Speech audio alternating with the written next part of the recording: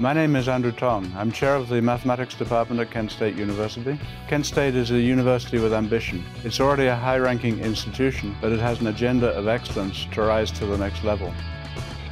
We put in the Math Emporium at Kent State as part of that effort.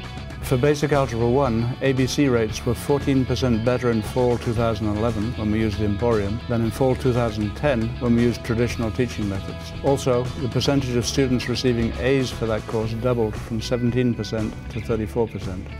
Our traditional remedial classes were not at all successful. We had difficulty getting students to class, and the students who were in class often said they're texting rather than paying attention. Students in prior years who had come through our developmental math course taking algebra trig, out of 20 students, we might have had two or three who passed. Fewer than 30% of them ever successfully completed a bachelor's degree.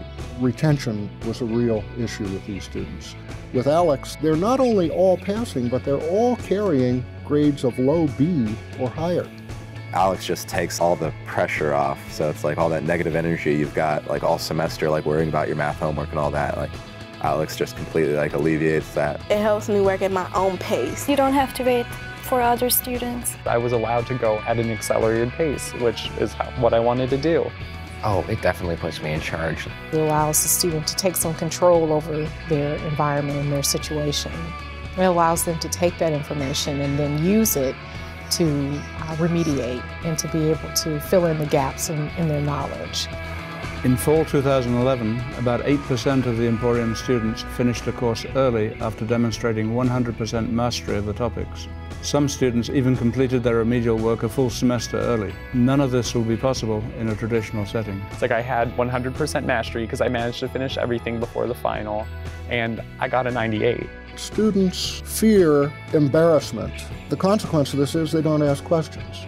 With ALEKS, there's a kind of anonymity there. There's no embarrassment to trying to answer a question two or three times and finally giving up and saying, okay, show me how to do it. I love not having a human witness to my simple mistakes.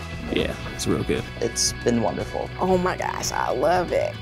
The use of the ALEKS Math Emporium also improved graduation rates from remediation. In 2010-11, when we used traditional teaching methods, 49% of the students entering the remedial sequence successfully completed it. In 2011-12, when we used the Emporium, 61% of the students entering the remedial sequence successfully completed it. That's a 24% improvement.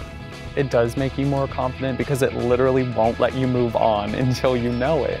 There's a reason for that. The reason is that by doing three more problems, you will have demonstrated not only to the ALEKS system that you really know this, but you will know that you know it. You're going to know without a doubt that that skill has been mastered. From more students than I have ever heard before, I have heard thank you because when they raise their hand and I come over, it's very clear in their mind what they don't understand. And then we can work together to figure out how to answer it. And then you see their mind is settled. One of the things that we, we noticed, they walk in and they say, oh, I hate math. I can't do math. When they finish with a couple of classes, they're realizing oh, I do understand this a little bit better. This is remarkable. This is just one of the many tools that we can put into our toolkit to help them to reach their academic goals and to help them to go on to have a future that isn't held back by their experience in math. It's great. Like, I mean, I'm gonna pass this class. Like, I'm gonna get like real credit for it. It's just great.